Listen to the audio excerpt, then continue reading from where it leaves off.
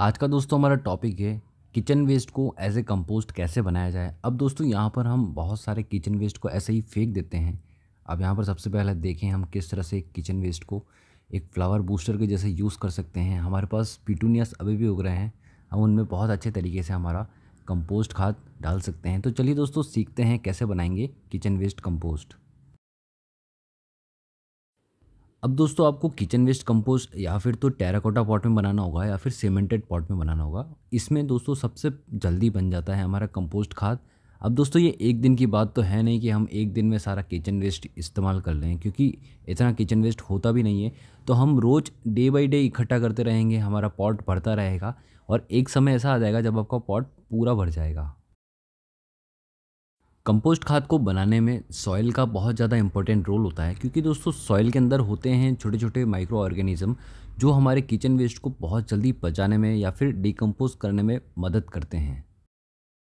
तो आपको simple layer by layer आपको कंपोस्ट खाद बनानी है मतलब एक लेयर हमारी खाद की होगी और एक लेयर हमारी सॉइल की होगी। इससे दोस्तों हमारी खाद बहुत जल्दी बन जाती है और आप हर डेली बेसिस पे उन्हें शफल करते रहें मतलब एक बार आपका पॉट भर जाए तो कम से कम दस दिन का आप वेट करिएगा, जिससे सारे माइक्रो ऑर्गेनिज़म जो नीचे की तरफ़ जो खाद रखी हुई है हमने किचन वेस्ट रखा हुआ है, वो अच्छे से डिकम्पोज हो जाए। फिर ऊपर वाली लेयर को हम शफल करेंगे, जिससे वो नीचे की तरफ़ चले जाएँगे और उनका भी डिकम्पोज वाला प्रोसेस स्टार्ट हो जाएगा।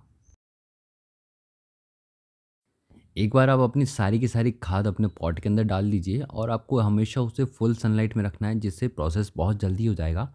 और मॉइस्चर के बिना ये काम नहीं होगा तो हमेशा ध्यान रखिए आप जब भी कंपोस्ट खाद डालें, उसमें थोड़ा वाटर ऐड कर लीजिए, जिससे मॉइस्चर बना रहे और आपकी खाद बहुत जल्दी डिकम्पोज होना स्टार्ट हो जाएगी।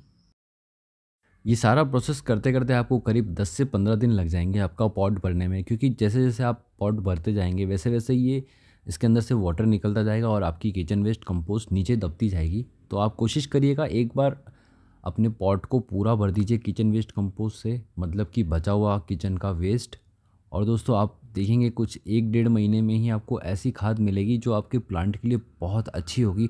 वो न्यूट्रिशन से भरा हुआ होगा। चलिए दोस्तों देखते हैं अब हम और क्या क्या इसमें ऐड कर सकते हैं।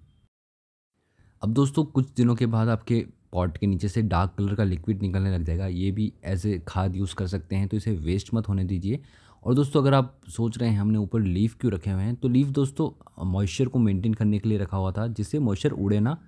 अब यहाँ पर हम केले के छिलके डाल रहे हैं। हमारी किचन वेस्ट कंपोस्ट को और ज़्यादा न्यूट्रिशनल बनाने के लिए। हमारी जो खाद बनेगी वो मैक्रो और माइक्रो न्यूट्रिएंट्स को, सभी तरीके के न्यूट्रिएंट्स को फुलफ़िल करेगी। इसलिए दोस्तों हम इसमें अंडे के छिलके भी डाल रहे हैं। आप फाइव टू सिक्स अंडे के छिलके ले लीजिए और उन्हें क्रश करके आप फिर डालिएगा जिससे वो अच्छे से डिकम्पोज हो जाए। इनमें थोड़ा सा ज़्यादा समय लगता है डिकम्पोज होने में बट ये भी डिकम्पोजेबल आइटम है और आप इजीली इसे अपनी किचन वेस्ट कंपोस्ट में यूज़ कर सकते हैं। खाद बनाने के एक पंद्रह दिन में ही हमारा किचन वेस्ट कंपोस्ट आधा हो जाएगा। अब दोस्तों, आप उसे फिर से भरिए, फिर से सॉइल ऐड करिए और जो लिक्विड नीचे से निकल रहा है, उसे आप फिर से उसी किचन वेस्ट में ऐड कर दीजिए क्योंकि दोस्तों, इसके अंदर बहुत सारे माइक्रो ऑर्गेनिज्म होते हैं जो खाद को जल्दी डिकम्पोज होने में मदद करेंगे। पॉट के ड्रेनेज होल में से जो भी लिक्विड निकलता है, आप उसे फिर से रीयूज़ करें, फिर से उस अपनी किचन खाद में डाल दीजिए क्योंकि दोस्तों, ये बहुत ज़्यादा मदद करता है और बहुत फास्ट प्रोसेस कर देगा आपके किचन वेस्ट को डिकम्पोज करने में। जब भी आप कोई भी किचन वेस्ट ऐड करते हैं अपने कंपोस्ट बिन के अंदर, हमेशा ध्यान रखें आपको सॉइल की एक लेयर ज़रूर बनानी है, जिससे ये प्रोसेस बहुत फास्ट हो जाएगा और डिकम्पोजिशन जल्दी से जल्दी स्टार्ट हो जाएगा। किचन वेस्ट कंपोस्ट में आप ऐसी चीज़ें यूज़ करें जो इजीली डिकम्पोजेबल हो। आप यहाँ पर गुलाब की पत्तियाँ यूज़ कर सकते हैं, मटर के छिलके यूज़ कर सकते हैं, पत्ता गोभी का लेफ़्ट आउट पार्ट यूज़ कर सकते हैं, पालक वगैरह, जो भी आप हरी सब्ज़ियाँ यूज़ कर रहे हैं, उनका left out part waste material आप इजीली किचन वेस्ट कंपोस्ट में यूज़ कर सकते हैं।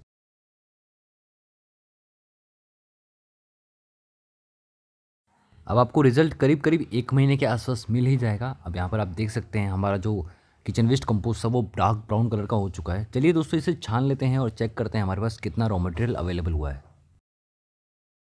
आप किचन वेस्ट कंपोस्ट को छानने के लिए एक मोटी जालीदार छन्नी यूज़ करें। इससे काम आपका बहुत आसान हो जाएगा। चलिए आप देखते हैं किस तरह से हम हमारे जो डिकम्पोज खाद है उसे अलग करेंगे और जो लेफ़्ट आउट पार्ट है, जो डिकम्पोज नहीं हुआ है अभी तक, उसे सेपरेट करेंगे।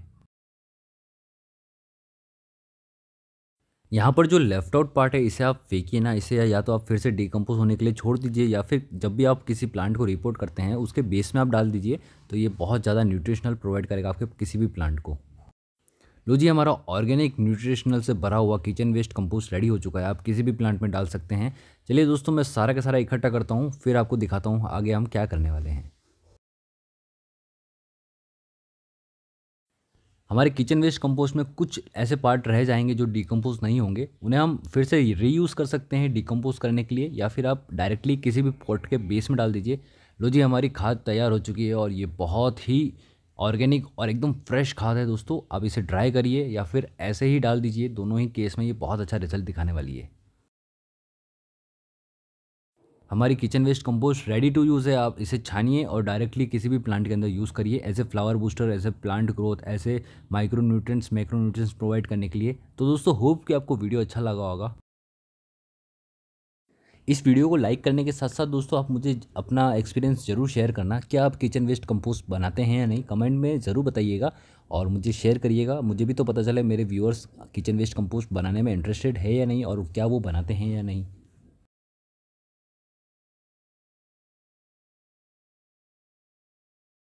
वीडियो को लाइक करने के साथ साथ अपने फैमिली, फ्रेंड्स मेंबर के साथ ज़रूर शेयर करना और उन्हें भी बताना कि आप अपना किचन वेस्ट किस तरह से रीयूज़ कर सकते हैं। Thank you.